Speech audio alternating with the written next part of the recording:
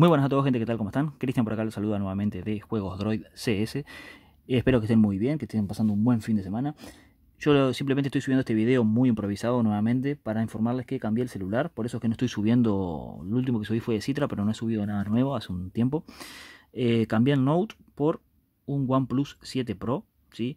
Así que ahora ya contamos en el canal eh, con el 855 para hacer las pruebas. Este cuenta con 8 GB de RAM y 256 interna. No tiene expansión con micro SD este celular, así que bueno, por ese lado perdimos un poco, pero tiene bastante espacio, así que no, creo que tengamos problemas con eso.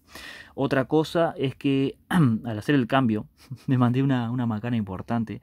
Ustedes saben que yo cuando hago las pruebas, generalmente siempre mando un saludo a quien me le pidió.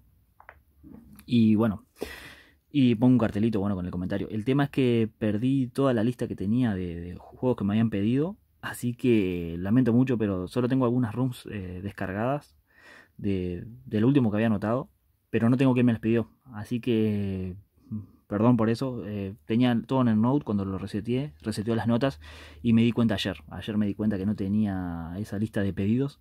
Así que, bueno, vamos a arrancar de cero de vuelta con eso. Tengo algunos descargados, como digo, pero no, no tengo las personas que me lo pidieron. Así que disculpa, disculpa por eso.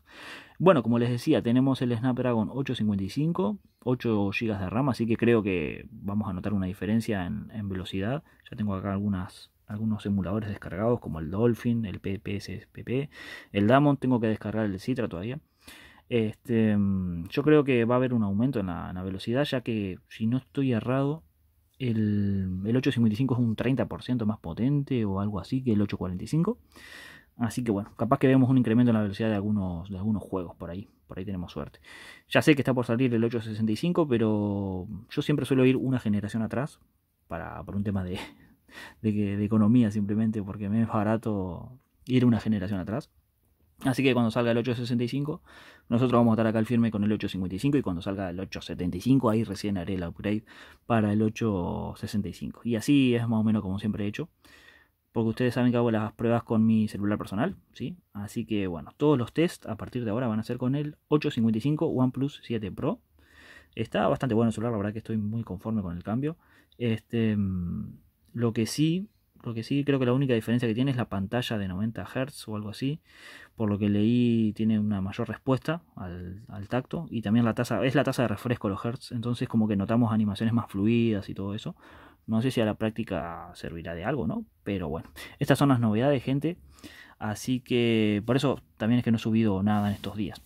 Así que bueno, estén atentos al canal para los próximos, las próximas pruebas que van a hacer en este celular, todas a partir de ahora, ¿sí? Espero que tengan un buen fin de semana, les mando un saludo a todos y disculpas por eso que, que comenté al principio, ¿sí? No tengo los nombres, así que vayan pidiéndome de vuelta, que yo ahora voy a empezar a anotar en la computadora o algo para no perderlo nuevamente. Un abrazo para todos, gente, que pasen todos muy bien. Chau, chau.